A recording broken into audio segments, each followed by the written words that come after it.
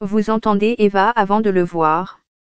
Un bruit vrombissant et sifflant vous accueille lorsque vous entrez dans les bureaux d'Automata, une start-up de robotique basée à Londres. D'un côté, un bras robotique passe par un ensemble complexe de mouvements, six articulations se tordant et tournant dans une séquence qui, dans le monde réel, correspondrait à placer une étiquette sur un colis. Autour du bureau et de l'atelier, il y a plus d'une douzaine d'autres unités EVA, certaines étant démontées par les ingénieurs, d'autres en attente de test. Il doit être très étrange la nuit alors qu'Eva continue son travail, simulant la fixation d'étiquettes. Ce bras robotique est né du travail de l'ancien architecte Suryan Chandra et de son partenaire commercial Mostafa El Zayed. Nous avons commencé avec l'intention de démocratiser la robotique, de rendre l'automatisation accessible et abordable pour autant de personnes que nécessaire, explique M. Chandra. Il parie qu'il y a des milliers, sinon des millions, de petites entreprises qui ont besoin de tâches répétitives à faire, mais ne peuvent pas se permettre un gros robot industriel. Eva a donc été développé à partir de pièces fiables et bon marché. Il utilise les mêmes moteurs qui alimentent les vitres électriques des voitures, tandis que les puces informatiques sont similaires à celles utilisées dans le secteur de l'électronique grand public. Cela leur permet de vendre Eva à 8000 livres. Automata n'est qu'une entreprise qui essaie de trouver un marché plus large pour les robots et de changer la façon dont les choses sont faites. Plus de 2,4 millions de robots industriels fonctionnent dans des usines à travers le monde, selon les données de la Fédération internationale de robotique, IFR, qui prévoit une croissance des ventes à deux chiffres entre 2020 à 2022. La majorité des robots effectuent actuellement des travaux répétitifs dans de grandes usines, produisant des voitures, de l'électronique et du métal. Ces armes industrielles géantes ont longtemps été puissantes et précises, mais ont manqué d'adaptabilité. Pourtant, aujourd'hui, les développements de l'intelligence artificielle, associés à une technologie de vision améliorée et à de meilleurs dispositifs de préhension, ouvrent de nouveaux marchés les achats en ligne ont donné à l'industrie une opportunité juteuse. Dans des entrepôts géants, des millions d'objets de toutes formes et tailles différentes doivent être triés et déplacés. Pour remplacer les humains sur ce marché en croissance, les robots doivent être capables de reconnaître et de saisir toutes sortes d'objets différents.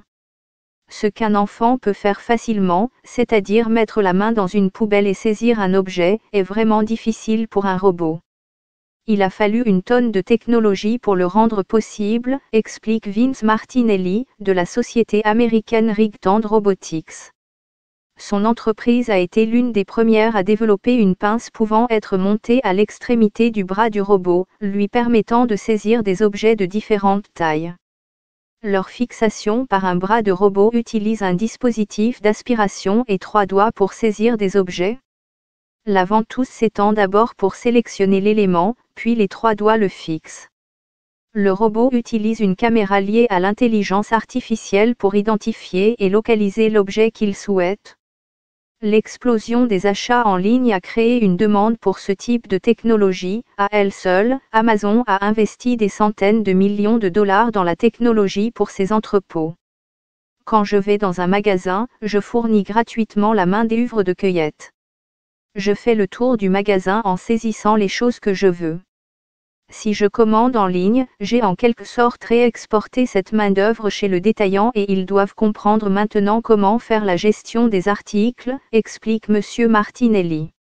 Soft Robotics, également basé aux États-Unis, s'attaque au même problème, mais d'une manière différente. Sa main robotique a des doigts en caoutchouc qui se remplissent d'air, ce qui leur permet de manipuler des aliments délicats comme des biscuits et des pâtisseries. L'industrie alimentaire est presque entièrement manuelle aujourd'hui, car chaque morceau de nourriture, chaque escalope de poulet, varie en forme et en poids. Vous avez également une dimension supplémentaire de sécurité alimentaire et de propreté, explique Carl Voss, le directeur de Soft Robotics. Bien que de tels systèmes confèrent aux bras robotiques plus de compétences, leur dextérité est encore loin de celle de la main humaine. Les chercheurs du Bristol Robotics Laboratory, un partenariat entre l'Université de l'Ouest de l'Angleterre et l'Université de Bristol, pensent que la grande percée serait de donner aux mains du robot un sens du toucher.